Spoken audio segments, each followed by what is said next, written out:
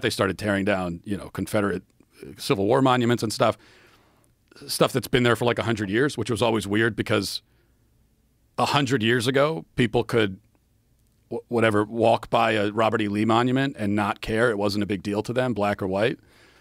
Now, all of a sudden, it's a bigger deal to us than it was to people whose like parents fought. You know, they have they had grandparents who fought in the Civil War or died in the Civil War. They were okay with it, and yet for us, what the wounds of the Civil War are fresher or more raw for us than they were for people a, a century ago. It makes no sense. How are we less able to be objective and non-emotional about the Civil War than people who who had family members? I mean, slave, ex-slaves were still living back then. Um, well, I think it's because it's just like a religious ideology. Like when the Taliban started blowing up those ancient statues of Buddhas. Do you remember that? Yeah. Because like they could like they destroyed things that were a part of human history that we would have studied for thousands of years. Yeah. And they destroyed them because they didn't go along with their religious ideology. And I think part of the woke thing is this religious ideology that has to be followed and you you cannot stray from the lines. You have to stay inside whatever this ideology is promoting and telling you what to do. And one of the things was that you had to take down all these statues of terrible people. And I remember Trump saying at the time, well, the problem with that is like eventually they're going to take down George Washington. And everybody thought he was crazy. Like that's a crazy thing to say.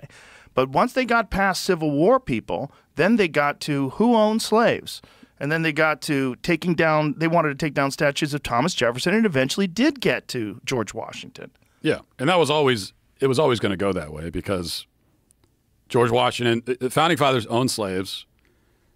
Eh, not only that, but they were rebels, you know, rebelling against a governmental authority. And if they had lost, then they all would have been uh, hanged as traitors, and that's how they'd be remembered.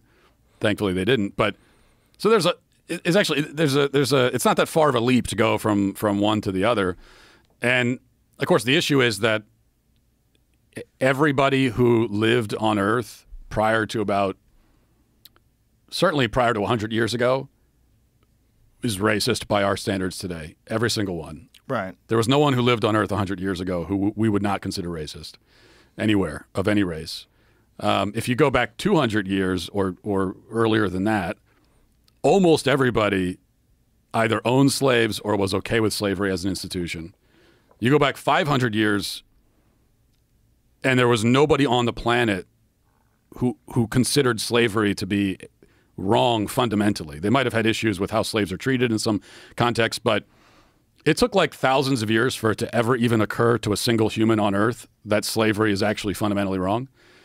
Uh, which is a crazy thing and that's actually an interesting thing we could you could talk about and, and think about like why is that how could it be that right. it's so obvious to us but the, some of the greatest minds of history it, they never thought of it uh, but we can't talk about that because we have to talk about slavery and racism as if they're exclusively white western phenomena